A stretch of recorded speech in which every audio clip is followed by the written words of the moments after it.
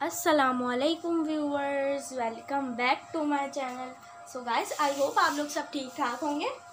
आज जो है गाइस मैं आप लोगों के लिए बहुत ही ज़बरदस्त रेसिपी लेकर आई हूँ। और ये बच्चों की बहुत ज़्यादा फेवरेट होती है और ये बहुत ही मज़ेदार भी होती है। हम इसको बहुत झटपट हम विदाउट ओवन बनाएँगे। तो आज हम बना रहे हैं कुकीज़ और ये बहुत मिल्की फ्लेवर की होंगी और बहुत ही ज़बरदस्त होंगी। तो इसे बनाने के लिए आपने एक डो रेडी करनी होगी और आज जो है हम इसे बिना ओवन के बना रहे हैं तो ये और भी आसान होगी।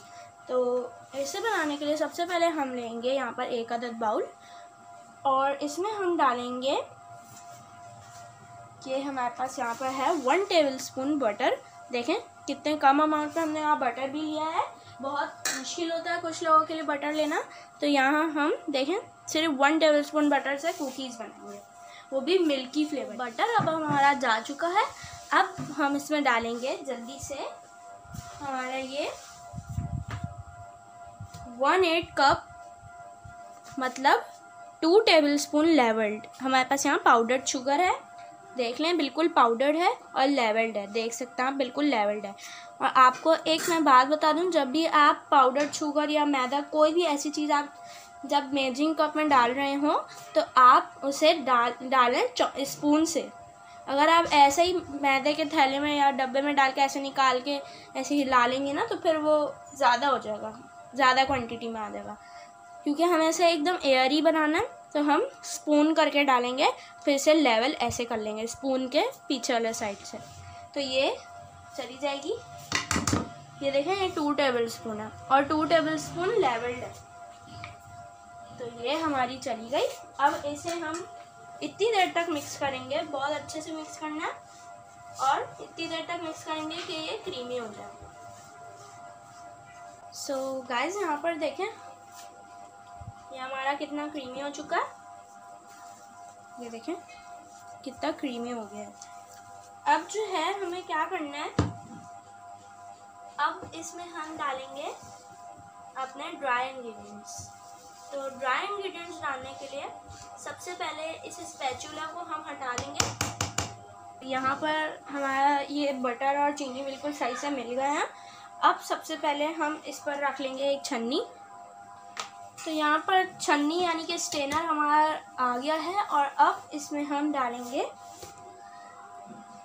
वन फोर्थ कप मतलब फोर टेबल स्पून लेवल्ड है। यहाँ पर कॉर्नफ्लोर और ये आपका छना हुआ होना चाहिए। लेकिन अभी हमने छाना नहीं है, इसलिए हम इसमें डालेंगे।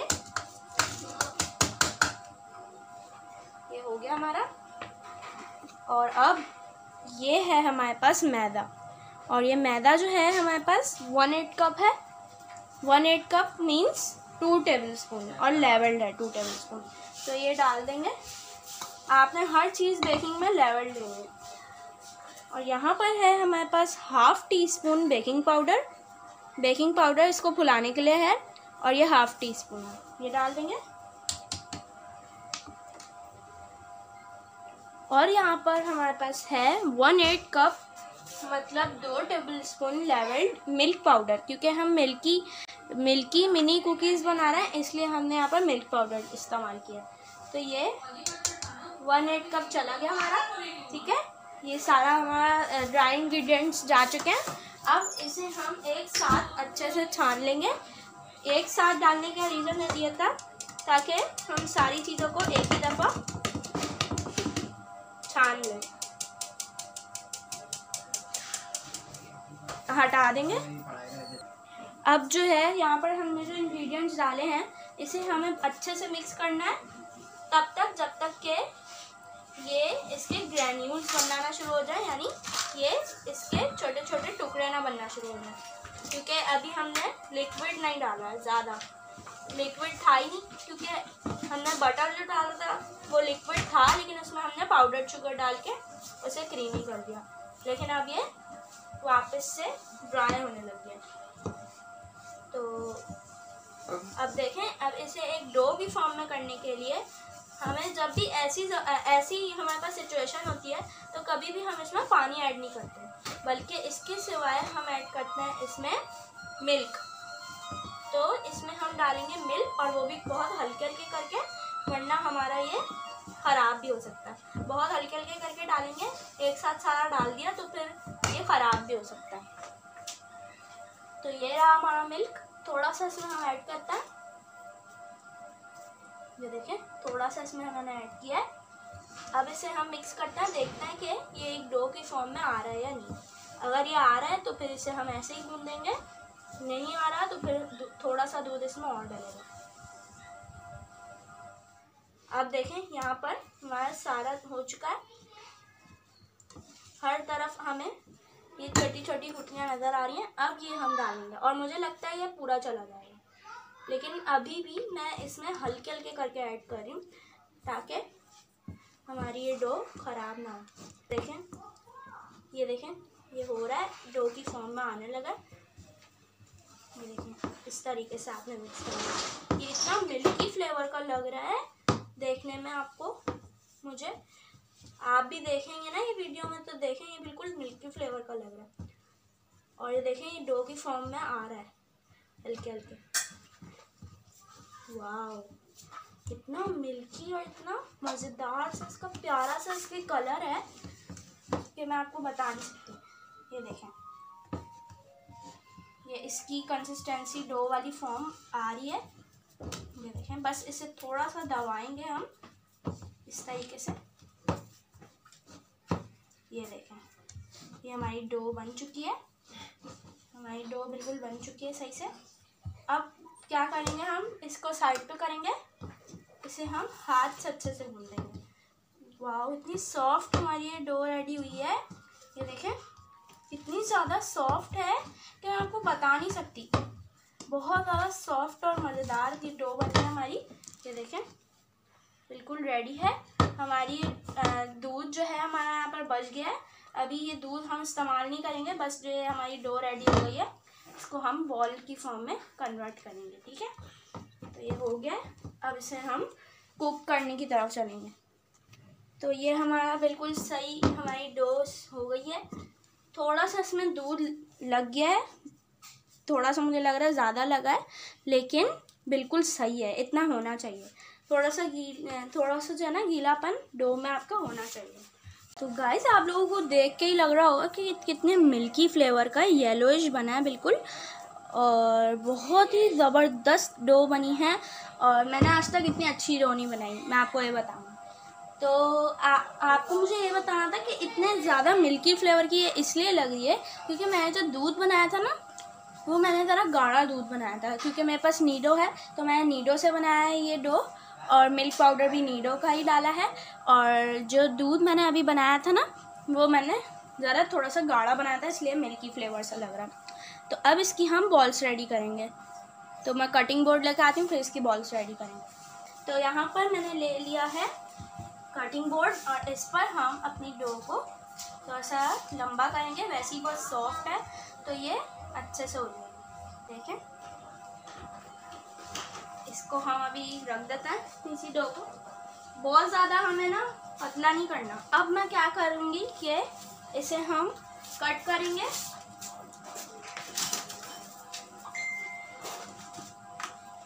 इसे हम थोड़ा थोड़ा कट करेंगे।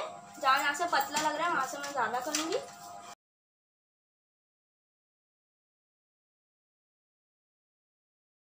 इस तरीके से इसकी बॉल्स बनाएँगे। ये देखिए। ये हमारी कुकी डो रेडी है। तो इसी तरीके से बना बना के रखते जाएँगे। ये हमारे जो आधी डो हमने बनाई थी, उसका हमारा बन गया है। अब इसका भी बना लेंगे। तो देखें, ये बॉल्स हमारी सारी रेडी है।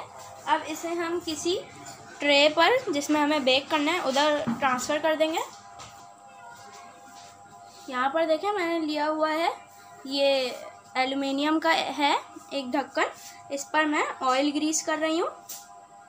ये देखें इस पर अच्छे से हमें ऑयल ग्रीस करना है, ताकि हमारे ये जो कुकीज़ हैं, वो चिपके ना। ये अच्छे से हमने, ये मेरे पास ऑयल ऑयल था तो लेकिन मैंने घी ग्रीस किया है। घी क्योंकि सेट हो जाता है और ऑयल जो है ना, बहता रहता है। इसलिए तो अब हम क्या करेंगे?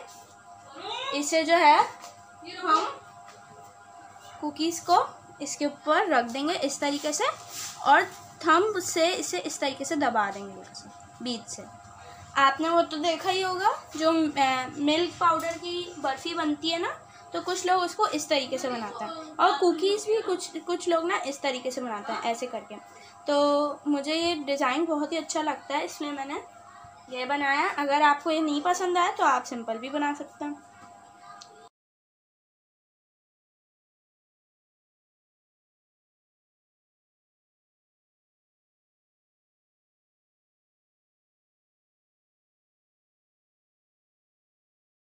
यहाँ पर जो है देखें सारे कुकीज़ मैंने सेट कर दिए हैं और ज़रा थोड़े थोड़े गैप से रखा है क्योंकि यहाँ पर हमारे पास आ, हमारे कुकीज़ शायद फैलेंगे भी। फूलेंगे तो बेकिंग पाउडर जो डाला है उससे फूलेंगे तो इसलिए मैंने थोड़ा दूर दूर रखा है। ये देखें कितने ज़बरदस्त कलर के लग रहे हैं, मिल्की, बिल्कुल। तो ये हमारा बिल्कुल रेडी है। अब हम पतीली की तरफ़ चलते हैं। तो यहाँ पर देखें, पतीला मैंने बहुत बड़ा सा ले लिया है और ये काफ़ी बड़ा पतीला है और इसमें हम अपनी ये बिस्किट्स डाल देंगे और फिर अब इसमें हम इसको ढक देंगे और इसका हम चूल्हा ऑन कर देंगे लो फ्लेम पर। लो फ्लेम पर चूल्हा ऑन करेंगे। शुरू में हमें पाँच दस मिनट के लिए हमें बल्कि पाँच दस मिनट क्या सिर्फ़ तीन चार मिनट के लिए हमें मीडियम फ्लेम रखना है यानी हाई या मीडियम जो भी है। लेकिन मेरे पास यहाँ पर पतीला जो है थोड़ा सा वो है आ, मोटा है तो मैं आ, थोड़ी देर तक ज़रा देर थोड़ा सा हाई फ्लेम रखूँगी और फिर पाँच मिनट के बाद इसे लो करूँगी। और आपने बिस्किट बना रहे हों, केक बना रहे हों, जब भी बना रहे हों, केक में तो खैर टाइमिंग्स अलग होती हैं, इसमें आपको पंद्रह से बीस मिनट लगता। लेकिन आपने दस मिनट बाद खोल के चेक करना है। आपने शुरू में बिल्कुल नहीं खोलना, ठीक है? तो इसका हम फ्लेम ऑन कर देते हैं और इसे हम ढक देते हैं। तो इसे मैं ढक रही हूँ अभी। बिल्कुल सही से ढकेंगे। ये हम इस पर ढक ढक रहे हैं। ये हमने ढक दिया और अभी मेरे पास यहाँ पर medium medium high to medium flame है और अगर आपके पास पतला होगा वॉक या जिसमें भी आप बना रहे हैं पतीली वगैरह में तो आपने जो है फ्लेम अपने पतीली के मुताबिक रखनी है। अगर पतली है तो बहुत ज़्यादा हाई नहीं रखनी है। अगर मोटी है तो हाई रखेंगे। शुरू में थोड़ी देर तक के लिए तो मैं अभी यहाँ पर हाई रख रही हूँ, ठीक है? तो गरम जब हो जाएगी मुझे लगेगा तो मैं इसका लो कर दूँगी। तो मिलता है पंद्रह से बीस मिनट के बाद। गाइस देखें हमारे पास यहाँ पर हमारे कुकीज़ इतने ज़बरदस्त बने हैं और कलर भी इतना शानदार आया है कि मैं आपको बता नहीं सकती। ये देखें, इसका कलर देखें पीछे से। ये पी इस इस तरीके का ही कलर आता है ऊपर से, देखें। ये हल्का सा ब्राउनिश आता है और पीछे से डार्क आता है, इस तरीके से, देखें। ये इतना मज़ेदार बना है, मैं आपको बता नहीं सकती। और आपको मैं इसे तोड़ के भी दिखाती हूँ, ये देखें। ये देखें, बिल्कुल ऐसा लग रहा है हम नान खताई खा रहे हैं। तो मैं जो हूँ, आपको इसे टेस्ट भी करके बताती हूँ कि ये कैसा बना है। हम्म। कमाल हो गया, कमाल। बिल्कुल मुझे ऐसा लग रहा है कि जैसे मैं मिल्क पाउडर खा रही हूँ। इतना मिल्की इतना मज़ेदार से फ्लेवर का है। कि मैं आपको बता नहीं सकती। और हमने, सबसे बड़ी बात यह कि हमने इसको ओवन के बगैर बनाया पतीली में। तो ये बहुत ही शानदार बना है। आपने इसे ट्राई ज़रूर करना है। और मुझे कमेंट्स में फीडबैक ज़रूर देना है कि आपको ये रेसिपी कैसी लगी। और और अगर आप इसे ट्राई ज़रूर कीजिएगा बहुत ही शानदार बना and if you like my video so please give thumbs up and share also subscribe my channel press bell icon for daily updates अपना बहुत सारा ख्याल रखिएगा मुझे दुआओं में याद रखिएगा तो अगली वीडियो तक के लिए अल्लाह हाफिज़